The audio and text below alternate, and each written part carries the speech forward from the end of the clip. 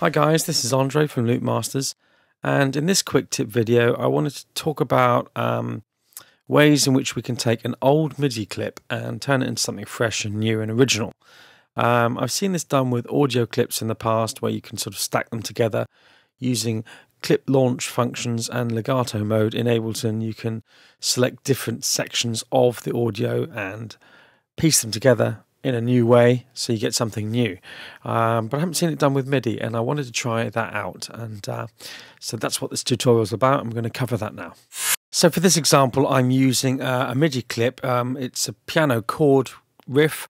Um, it's based on the track um, called Make It Good by Shift Key. And uh, this is the riff here.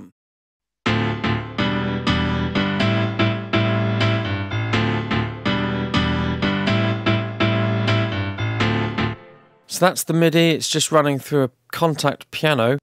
Um, it's worth pointing out that the uh, the difference between doing this sort of technique with audio against doing it in MIDI is that with audio you're always going to hear some sound, whereas MIDI you actually have to wait till you've gone past the start point of the MIDI data before you hear any sound. So with that in mind, it's um, you have to be a bit more careful about the way you split up the actual MIDI riff for this technique to work, what I need to do is um, split the riff into sort of four sections that I can pick out. And to do this, I'll duplicate the loop four times and select different areas of the loop in each instance. So um, for the first loop, I'll select beats one and two of bar one. The second loop, I'll select beats three and four of bar one. Um, the third loop will be beats 1 and 2 of bar 2 and 3 and 4 of bar 2. So that we've got four consecutive loops that make up the entire riff. Now I'm going to select all of the uh, four loops and make sure that legato is turned on for all of them.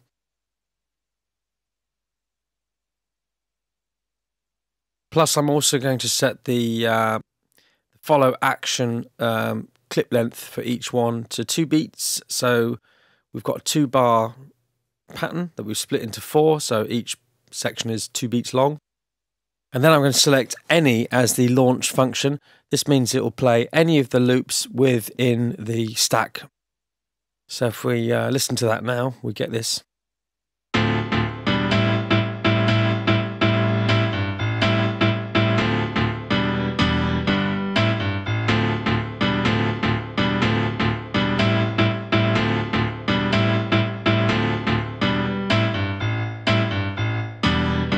So what's happening there is that each of the loops are being randomly selected. Uh, we've already defined what each loop is actually going to play, but uh, because they're being played at random now, you are getting something new. Now I've just duplicated this across to this uh, section here as a one I've made earlier and added a beat.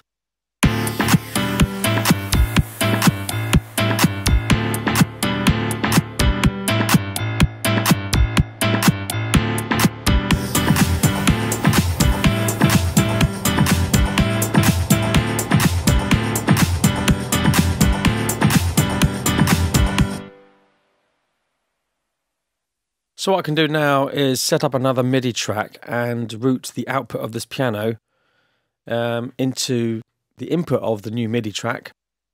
And then we can record some of this uh, randomness happening. We'll be able to then select some new loops from the recorded data.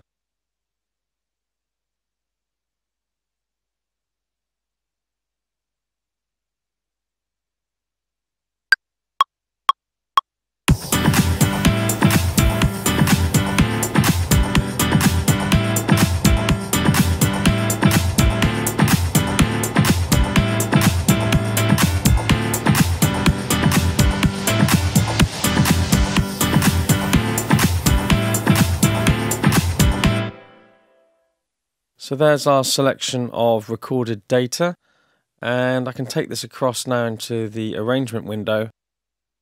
I've already recorded a few other bits.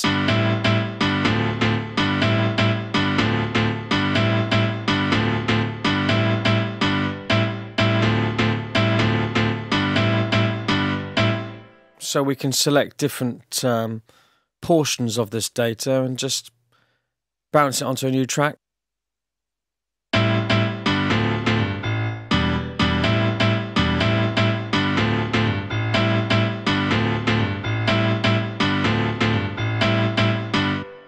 That's quite good, that one. We'll just uh, take that across and double it up.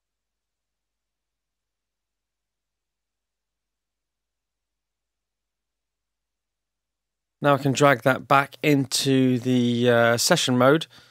Remember when you drag loops back, you'll need to turn the loop function back on.